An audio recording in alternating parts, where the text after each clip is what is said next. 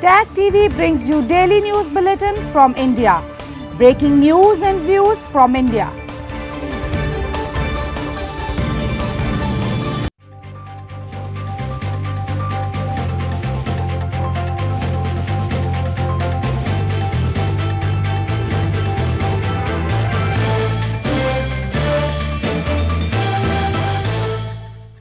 Good evening. Welcome to South Asia Newsline. I'm Lipakshi Khurana. Here are the top stories we're tracking for you on Tuesday, the 19th of November.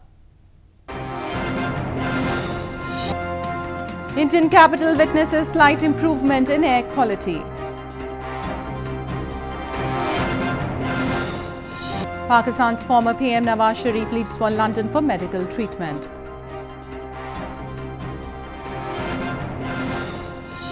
And Sri Lanka's new president says security to be top priority.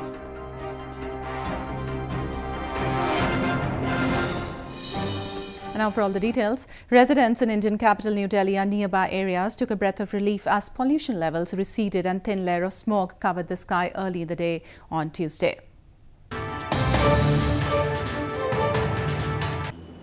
After days of severe and very poor air quality, residents in Indian capital New Delhi took a breath of relief as pollution levels receded and thin layer of smoke covered the sky early in the day on Tuesday.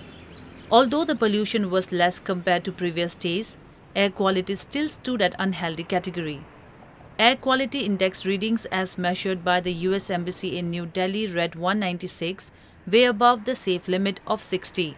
According to Center-run System of Air Quality and Weather Forecasting and Research or SAFAR, the relief from toxic air is temporary as the wind speed is going to slow down from November 20. The air quality is likely to plunge to severe category on Thursday. Residents said they were feeling better as they were able to come out without feeling choked by toxic smoke.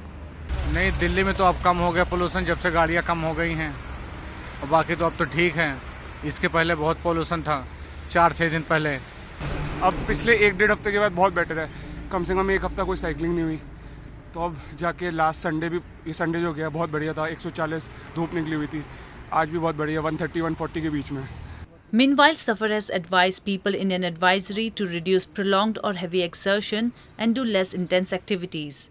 A senior environment official has said the Environment Ministry and the Central Pollution Control Board are monitoring pollution separately and efforts are on to bring down the levels of pollutants and particulate matters in the air. News from Pakistan, Pakistan's ailing former Prime Minister Nawaz Sharif, who was convicted of corruption, left the country on Tuesday to travel to London for four weeks for medical treatment. Sharif's conviction was earlier suspended for eight weeks on medical grounds. Pakistan's ailing former Prime Minister Nawaz Sharif, convicted of corruption charges, flew to the United Kingdom for medical treatment on Tuesday. Leaders of Sharif's party, Pakistan Muslim League Nawaz, said that he left in an air ambulance with his younger brother and his personal doctor. They said he may be taken to Boston in the US after going through a detailed checkup in London. The three time former premier was released on bail last month from a seven year sentence for corruption after repeated medical issues.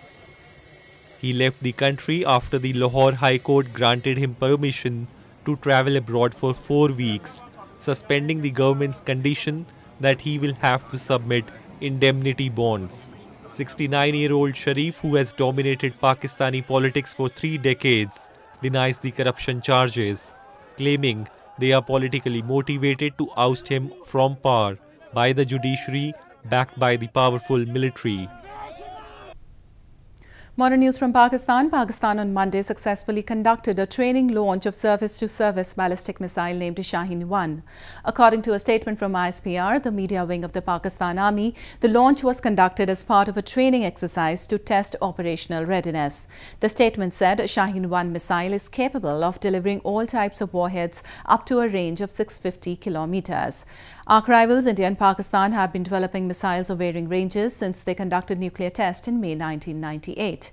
The missile test comes amid soaring tensions between the two countries over the Kashmir issue.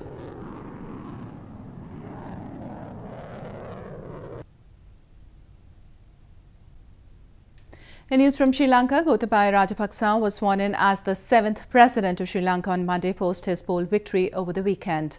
Blessed by Buddhist monks, Gotabaya, after the ceremony, said ensuring the national security of the island nation country will be his foremost responsibility. Sri Lanka's new president Gotabaya Rajapaksa made national security his top priority after being sworn in on Monday at an ancient temple of Anuradhapura, where he received blessings from Buddhist monks.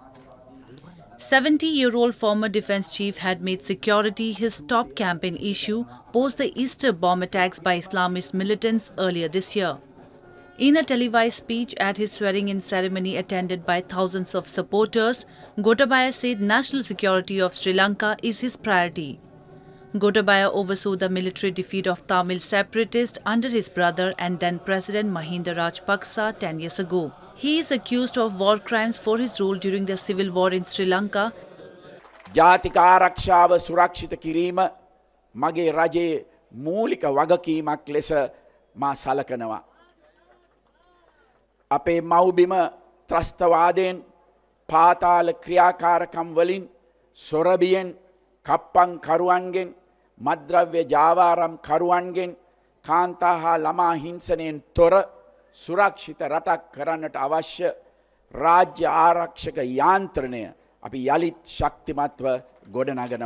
Gotabaya was declared winner in the presidential polls on Sunday after he defeated Sajith Premadasa, a housing minister in the current government. Millions voted to elect a new president to lead the country out of its deepest economic slump in over 15 years. In news from Afghanistan, Afghan presidential spokesman Sadiq Siddiqui has said that the Taliban's war mindset has not changed, but the government will continue its efforts for peace. While referring to a blast by the Taliban last week, which killed at least 12 people, he said the continued violence by the group has affected the peace process. Spokesman of Afghan President Ashraf Ghani Sadiq Siddiqui has said that the recent attacks in Afghanistan indicate that the Taliban's war mindset has not changed. Siddiqui on Monday, while referring to a blast by the Taliban last week, asserted that the attacks by the group have affected the peace process, but the Afghan government will continue its efforts. The remarks came two days after the presidential palace spokesperson announced that the three Taliban leaders to be released in exchange of two professors are still in government custody.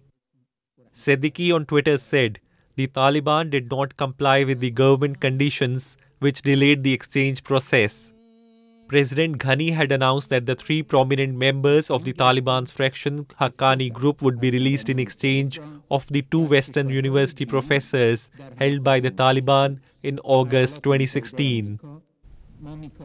Afghanistan, where most of its people deeply believe in old fashioned traditions, the Afghan youth have been recently introducing the culture of fashion shows in the society to make them a new normal.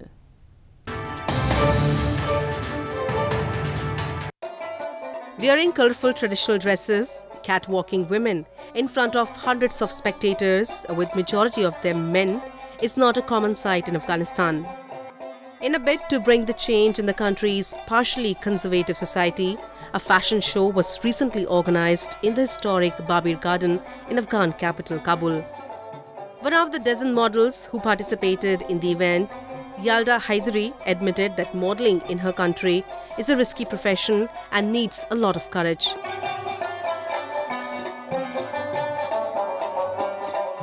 من به می خاطر مدلینگ را انتخاب کردم. می‌فهمم که یک شغل بسیار خطرناک است. ولی که ناممکن ها را ممکن بسازی و سختترین کارا را انجام بدی این حس بسیار خوب است و من همین حس دوست دارم هم مدلینگ دوست دارم. در اوایل خیلی برشان سخت بود ولی حال بسیار خوب شده. حتی می‌تونیم گفته که دخترخانه ما هم جرأتش و اجازی که باید فامیل برش بده اندازه آقایان شده. The militancy battered Afghanistan is largely a traditional country where most of its people deeply believe in old fashioned traditions, including opposing women to even work outside home. Although women in Afghanistan have achieved a lot over the past 18 years, from being in politics and sports to being musicians and artists, Afghan observers believe still much needs to be done to improve the status of women. Moving on to news from Bangladesh, Bangladesh's densely populated capital city Dhaka has completed more than half of its very first mass rapid transit system line aimed to reduce its world-famous traffic congestion. This will be Dhaka's first actual metro rail system in a bustling city of around 20 million people.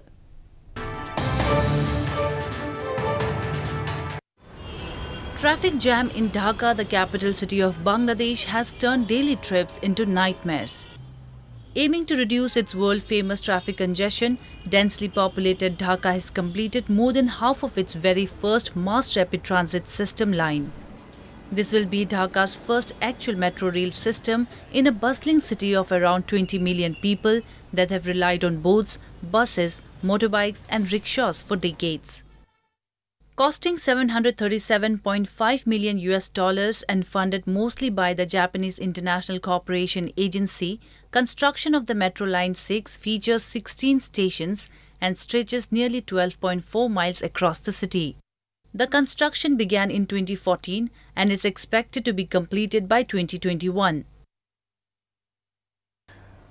The vision, vision of this time-bound action plan is to reduce the traffic congestion in the Dhaka city and to improve the environment of the Dhaka city and its adjacent area. Keeping this vision in mind, PMTCL has started the construction of MRT line 6.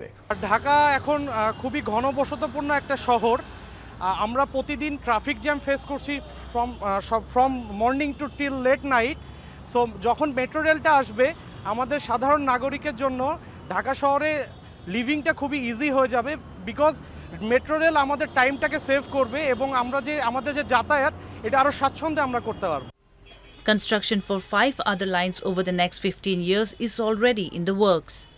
According to a 2017 World Bank study, congestion in Dhaka, one of the world's most crowded cities, eats up 3.2 million working hours per day. Average traffic speeds have dropped to nearly 4 miles per hour from 13 miles per hour over the last decade, only slightly faster than the average walking speed. The 13th South Asian Games are expected to open in Nepal's Kathmandu city in just two weeks, but renovation work at the Dasharath Rangasala Stadium still remains incomplete. The opening ceremony for the multi-sport event is slated to be held in the stadium on December 1st.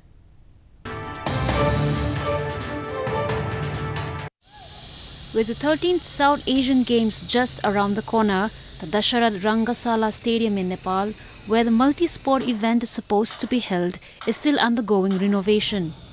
The renovation work at the stadium in capital Kathmandu is yet to be completed as there is a delay in delivery of the required materials from China, a site engineer has said. The process of installing chairs for spectators is still underway while the construction of the VVIP block is yet to gain momentum.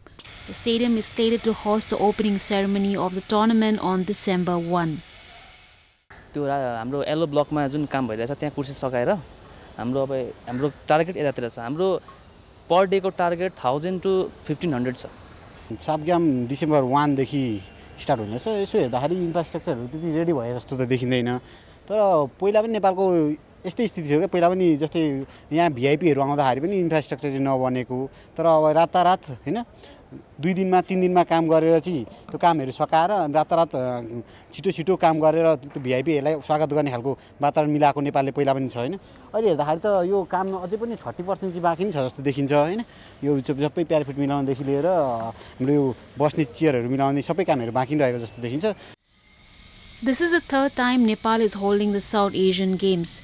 A total of seven nations have confirmed their participation in the tournament, which will be held in Kathmandu and Pokhara cities of the Himalayan nation. Well, that's the way it was in South Asia this evening. Before we conclude, the top stories once again. Indian capital witnesses slight improvement in air quality.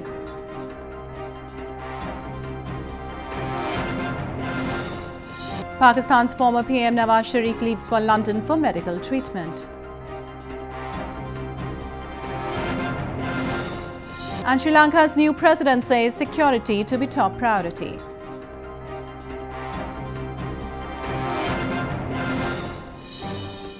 Now, our viewers can watch the show on SouthAsiaNewsline.com. You can also visit us on Facebook.com slash Newsline and follow us on Twitter at Newsline. That's all in tonight's edition. We'll see you same time tomorrow. Good night.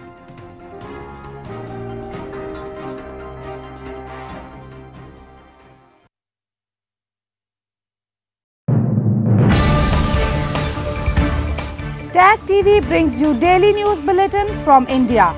Breaking news and views from India.